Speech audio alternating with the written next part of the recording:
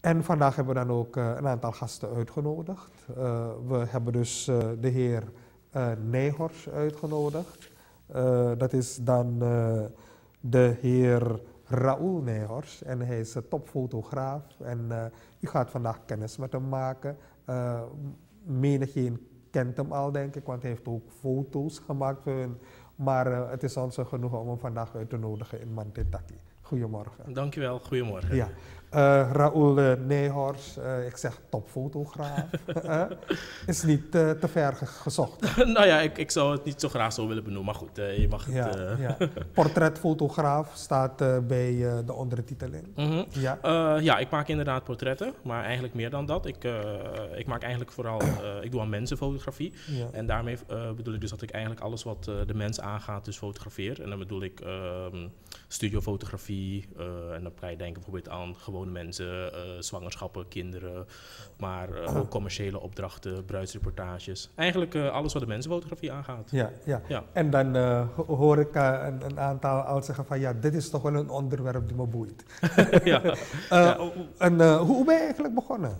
Ja, hoe ben ik begonnen? Het is eigenlijk uh, op een hele speciale, uh, ja, aparte manier gegaan, omdat ik uh, eigenlijk vroeger helemaal niks had met de fotografie. Ja. Ehm, het is eigenlijk een beetje uit de hand gelopen hobby. In de zin van, ja, laten we zeggen, een jaar of tien geleden kocht ik mijn eerste digitale camera, omdat ik heel veel van gadgets hield. Dus allemaal leuke nieuwe kleine snufjes.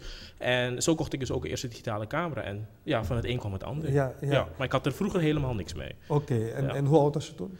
Toen ik daar heb gezien, ja, ik denk 23, 22, 23. Ja, ja toen ik voor het eerst en hoe lang ben je al ermee bezig? Tien jaar ongeveer. Tien jaar. Ja, Oké. Okay. Um, je hebt een uh, faam uh, ermee gemaakt. Hè? Je bent internationaal ook bezig. Ja, klopt. Ik doe veel, ja, natuurlijk in Nederland, maar ook op Curaçao en Aruba een beetje en nou ja, in, in Suriname. Ja. ja. zo ben ik bezig. Uh, voornamelijk qua, qua fotoshoots. Maar ik doe dus ook mee aan wedstrijden. Ja. En die wedstrijden zijn wel echt heel erg internationaal. Over eigenlijk bijna alle landen van de wereld. Oké. Okay. Je hebt ook al een titel. ja. Nou ja, het is, het is zo, als je aan die wedstrijden meedoet en je haalt een x-aantal uh, medailles en, uh, en prijzen, ja. dan mag je inderdaad een onderscheiding aanvragen en dan kan je dus zo'n titel inderdaad achter, ja. achter de naam En jouw titel achter je naam? Die is je EFIAP en dan heb ik nu onlangs, dat, een paar weken geleden, nog een extra level gehaald. En dan zit er dus nog een, een slash B achter. Dat wil mm. zeggen dat ik dus de bronzen level heb gehaald. En dat is de eerste stap naar uiteindelijk platinum. Ja, oké. Okay. Dus... Er, er, zit wat in voor jou. ja, het, uh, ik mag zeker niet klagen. Het is, hoe je dat? Uh, ik, ik, vind het ook bijzonder dat mijn foto's eigenlijk over, uh, nou ja, dus niet alleen gewaardeerd worden in mijn, in, binnen eigen kringen, maar dus ook eigenlijk in andere landen. Dus dat ze daar eigenlijk de foto's mooi of bijzonder vinden. Oké, okay. terwijl we dan bezig zijn, dat is wel een beetje jammer voor de luisteraar, maar ja. de kijker die ziet ze. we hebben prachtige foto's geselecteerd van, uh, van Raoul. Dankjewel. En we zien ze, daarnet zag ik een, uh, een foto van een zwangere vrouw. Ja, ja. klopt. Dat is ook een, eigenlijk een waardevolle foto voor me. Omdat bij deze foto doe ik regelmatig mee met wedstrijden. En daar heb ik echt heel veel medailles mee gewonnen. Ja. Dus een, ja, het is eigenlijk een foto gemaakt tijdens gewoon een fotoshoot van een stelletje die heel graag leuke foto's van zichzelf wilde tijdens de zwangerschap. En zo kwam dit eigenlijk spontaan op. Ja. Um, wat gebeurt er nog meer? Ik zie ook een prachtige foto daar met een, een, met een dame lichtbal, met ja. een lichtbal. Ja, ja eigenlijk... Uh, ik dat lijken wel naaktfoto's, hè? Uh, ik doe inderdaad ook veel, uh, veel naaktfotografie. Ja. En dan vooral het mooie naakt. Dus geen ordinair naakt waarbij je allemaal dingen ziet. Maar het mooiste naakt vind ik naakt waarbij je eigenlijk ja, gewoon niks ziet. Dus dat je heel veel eigenlijk aan de verleiding... Je krijgt geen problemen met de man of de vrouw? nee, in principe niet. eigenlijk alle mensen die mij, die mij benaderen, ehm, dat zijn eigenlijk mensen... Of tenminste, alle, alle, alle naaktfoto's die ik maak, zijn in principe mensen die mij gewoon benaderen. Die vragen van, hé, hey, uh, mag ik leuke foto's? Dus sowieso is de wil er al van de mensen zelf. Dus ja. zij benaderen mij, zij vragen mij. Ja. Nou ja, en of de partner daar moeite heeft, ja, nee, eigenlijk, eigenlijk niet. Maar ik denk... ik denk dat telefoontjes op Nee, nee, eigenlijk niet. Maar ik denk dat het uh, met, heeft mee te maken heeft met verschillende factoren. Deels met mm. omdat het natuurlijk allemaal netjes naakt is. Het zijn geen vieze foto's. Ja. En uh, deels ook omdat ik echt zeker geen kwade bedoelingen heb. Kijk, ik heb uh, gewoon een partner en ik heb een, uh, een kindje en een tweede kom opkomst. Ja, dus ja. Mensen weten gewoon dat ik me helemaal niet met zulke dingen bezig hou. Oké. Okay. Raoul, um, toch weten we dat fotografie een dure hobby is. Zeker, zeker. Ja. Het is, uh, het is niet goedkoop. Uh, zeker als je al begint met een camera. Daar moet je natuurlijk al een behoorlijke investering in doen. En dan komen er ook nog lenzen bij kijken. En als je met studiofotografie of uh, ja, met lampen wil gaan werken, moet je ja. ook weer dat kopen. Dus eigenlijk inderdaad een hele, hele dure grap. Ja, ja. ja. Um, en toch, um, want daarvoor hebben we dus Raoul uitgenodigd. Omdat hij in de maand april hier workshops zal organiseren en eigenlijk ook op zoek is naar talent in Suriname. Ja, nou ja, inderdaad. Uh, het mooie is in Suriname, er is gewoon heel veel talent hier aanwezig. Uh, uh, er zijn echt goede fotografen of de goede potentiële fotografen. Alleen, men moet natuurlijk alleen realiseren dat men niet alleen moet investeren in, in apparatuur. Want dat is men heel snel geneigd, weet je, allemaal apparatuur. Maar dat je ook moet investeren in kennis. Want ja, van stilzitten kom je niet vooruit. Dus je moet ook kijken naar wat zijn de mogelijkheden om, om je kennis te, te verbreden. En in Suriname zijn er nog niet heel veel mogelijkheden qua workshops. Je hebt natuurlijk wel een basiscursus die hier ja. gegeven gegeven wordt.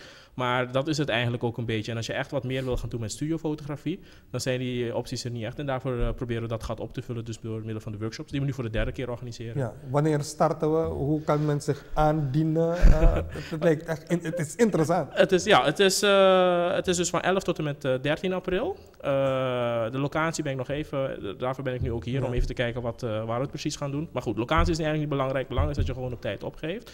Ehm, op 11 april hebben we we beginnen dus met photoshoppen.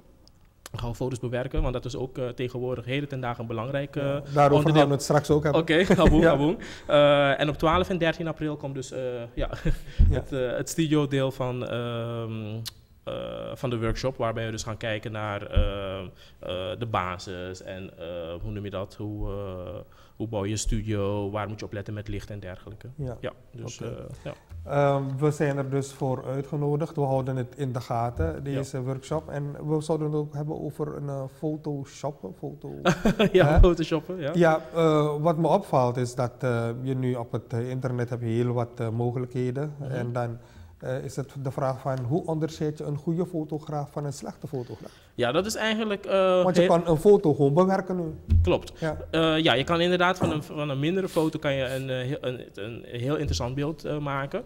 Um, ja, het is eigenlijk heel moeilijk te zeggen. Want kijk, uiteindelijk gaat het natuurlijk wel om het eindresultaat. Dus de discussies of de meningen zijn daarover verdeeld. Weet je, er zijn fotografen die heel goed zijn uh, vanaf het begin af. Dus vanaf het moment dat ze de foto maken en dat er daar een hele mooie foto uitkomt. Ja. Maar er zijn ook mensen die misschien daar iets minder in zijn. Maar geweldige foto's of geweldige beelden maken na bewerking. Dus ja, het is eigenlijk heel moeilijk te zeggen. Het enige wat ik erover kan zeggen is dat bijvoorbeeld uh, bij documentaire fotografie. Het wel belangrijk is dat de foto's niet dusdanig uh, ja, bewerkt worden ja. dat er een uh, uh, dat onrealistisch beeld bestaat of is er iets wat niet waar is. Dus het is wel belangrijk bij, um, hoe noem je dat? Ehm, bij, bij, bij dat soort fotografie ja. dat je dus wel het beeld gewoon zo laat. Okay. Ja. Vandaag een heel ander onderwerp dat we dus zo ja, een, brengen in uh, Mantentaki. We hebben het over fotografie en we hebben hier Raoul Nijhorst bij ons die van die prachtige foto's maakt en internationaal heel veel bekendheid geniet. En we hebben in uh, april hebben we dus de workshops. Klopt. En wat gebeurt er van, vanaf vandaag richting april? Blijf je in Suriname? Uh, nee, ik, uh, ik ga de komende week weer weg. Ik ben hier gehaald voor een opdracht. Iemand wilde ja. graag dat ik foto's maak. Ja. en daarvoor ben ik dus gehaald. En dan ja, ga ik weer terug. Ja. en dan zijn we april. Ja, dat gebeurt soms. En dan zijn we april... heel speciaal naar hier om foto's te maken? Ja, okay. heel speciaal naar hier. dus dat gebeurt wel eens. En um, hoe noem je dat? Um, ja, als mensen zich willen aanmelden aanmelden. We hebben een website, uh, die2fotografen.nl. Maar wat mij ook kan doen is gewoon mij een berichtje sturen op op Facebook of even zoeken op mijn eigen website, raoulnijhorst.nl. Maar nou ja, goed, uh, als men gewoon googelt op mij en me op een of andere manier een berichtje stuurt, het zij via internet of het zij via telefoon, dan uh, komt het helemaal, okay. helemaal goed. Mag ik je bedanken voor ja. je bijdrage en ja. Uh, je volgen, niet achtervolgen. ja, Raoul uh, Nijhorst en uh, we hadden het over fotografie. Er komt een hele prachtige workshop voor de fotografen, voor de hobbyisten en misschien voor de beginner.